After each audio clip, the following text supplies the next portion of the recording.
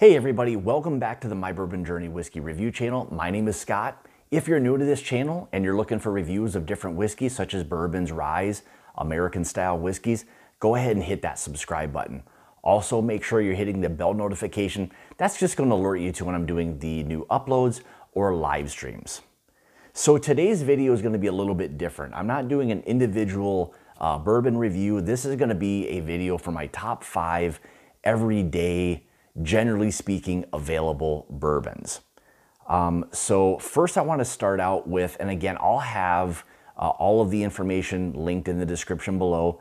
Uh, then within the video, if there's mash bills and prices, I'll have that linked on each specific bourbon so you're familiar with exactly what that may be. So first I wanna start out with the honorable mentions just because these are two bourbons that a lot of people I think really enjoy but can be sometimes difficult to get based on the allocation. And those two bourbons are going to be the Eagle Rare, um, which again may or may not be available in your area. Same thing applies to the standard Buffalo Trace.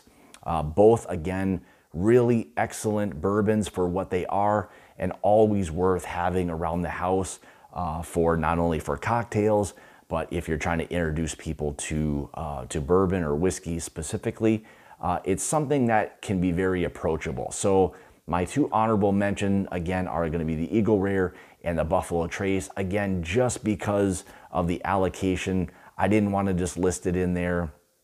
Um, you know, again, just because of the the inability for everybody to generally speaking get those two bourbons. So all right, so with that being said, uh, we're gonna start with our number five um, readily available uh, bourbon, and that's gonna be the 1792 uh, small batch bourbon. This is one of those bourbons that are, is just, it's just always consistent. Um, it's upwards of about nine years old in terms of the age, offers again a fantastic uh, profile, easy to sip. 93.7 proof, uh, and is right around that 25 to maybe $30 price point. So in terms of bourbons that are really, really nice to just sip on, that are gonna be very approachable, I felt the 1792 small batch has to be one of the top five everyday type of bourbons. Uh, I know we like to all sip on high proof stuff a lot of the times, but with this video specifically, Again, this is gonna be just the standard or everyday sipping uh, types of bourbons. So there we have it. Number five is the 1792 uh, small batch bourbon. All right, so let's move on to number four, which is gonna be the Four Roses single barrel uh, bourbon. Again, this is another one of these readily available bourbons that I think everybody should have at the house at all times. It offers a really, really nice value in terms of what it is you're getting. Um, this is going to be 100 proof, and I think this comes in right around that $40 uh, price point. So again, a nice fruity, um, spicy, nice oak, some sweetness.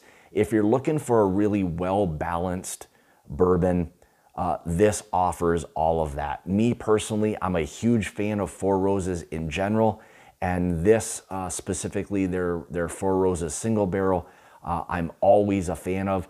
This is gonna be their standard recipe, the OBSV. Uh, so that's really what you're gonna get with most or all of the single barrels uh, that are not like a store pick. So again, this is the Four Roses uh, single barrel.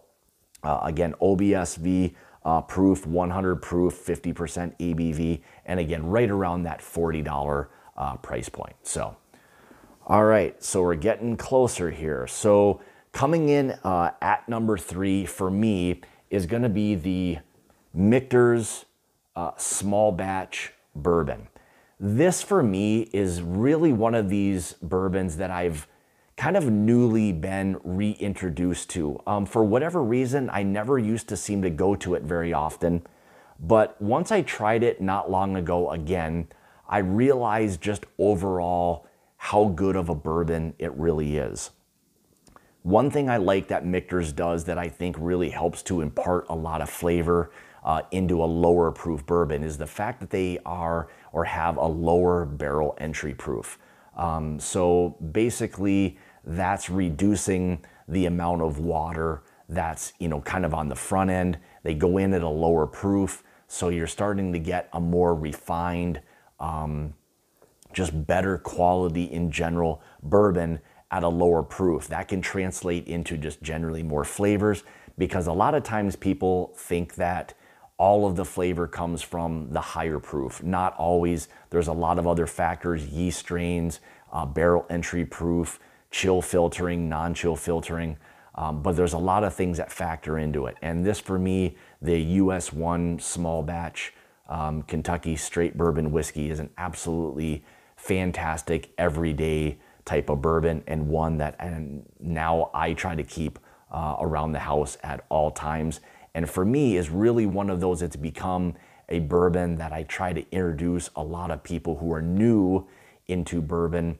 Um, this this one specifically, just because of those traits that it has. So again, uh, this comes in at 91.4 proof um, and is right around that 35 to $40 price point and is generally speaking readily available. All right, so there's the number three. Now let's go on to number two. And again, this is gonna be another bourbon that's a little bit newer to me, but really felt that it was, once I kind of got back into it and the profile that it had to offer was absolutely fantastic. So for me, my number two is gonna be the Old Forester uh, signature bourbon. Not necessarily or considered or, or technically speaking, their signature bourbon, or it's not printed on the label, but this is probably their quote unquote kind of house bourbon, so to speak. Uh, this is going to be um, right around or is 100 proof or 50% uh, ABV and is right in that 25 to $30 uh, price point. So uh, did a review of this one individually not long ago and just kind of almost fell back in love with it. It's that good of a bourbon that I felt it was just one of those ones that just should always be at the house. So for me, again, it's it's going to be an everyday type of bourbon to have at the house. So um, if you haven't had this, definitely give the Old, For, Old Forester Signature Edition uh, 100 proof bourbon a try. I think you'll really, really enjoy it. So.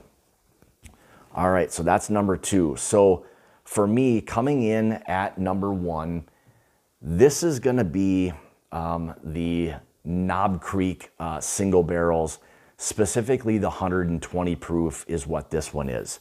Now the 100 proof is, is very, very good as well, but I felt for something now being in the number one spot, I kind of wanted to amp up the proof a little bit. Um, this is a well-rounded always well put together uh, bourbon. Um, the standard 120 proof uh, is a minimum of nine years old. This is going to be a store pick. However, the standard single barrels are all over the place and are readily available all the time. So if you're looking for something, again, that is sweet, bold, has some nice dark fruit um, notes to it, a um, little bit of spice and everything to it, the 100 or 120 proof bourbons will be fantastic, but I just felt to put into the number one spot that I would go with the um, Knob Creek single barrel 120 proof. I don't think you can ever go wrong with it. Uh, is a little bit oaky at times, but I, again, I think in terms of what it over what it offers overall, it's an incredible bourbon and is right in that 40 to 45 dollar price uh, range.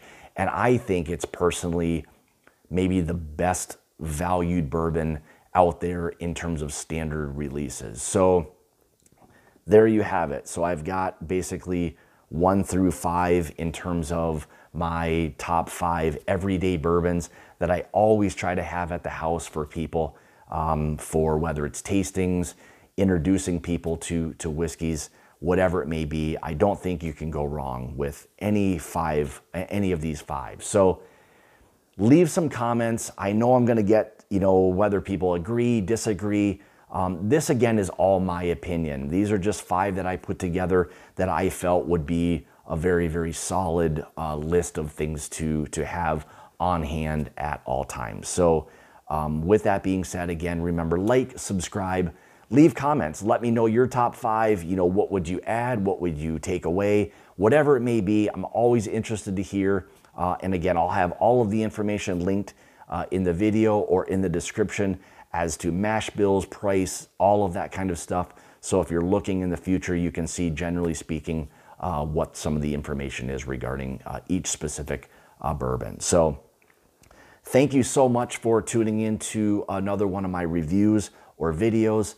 Uh, if you'd like to help support the channel, you can through my Patreon page, which I'll also have linked in the description below. So with that being said, thank you again so much for all of your support. I greatly appreciate it. And as always, remember, it's about the journey and not the destination. Cheers.